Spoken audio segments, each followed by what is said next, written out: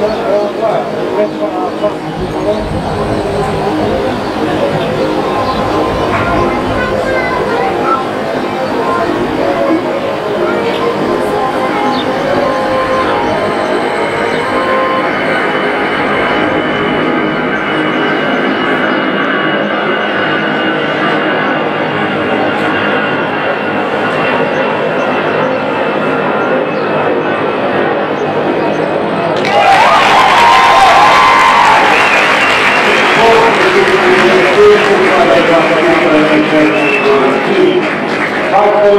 Continue to die from Portugal, Marcial.